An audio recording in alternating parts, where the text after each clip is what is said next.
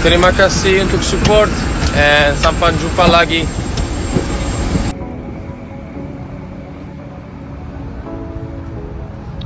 Tuh bis Indonesia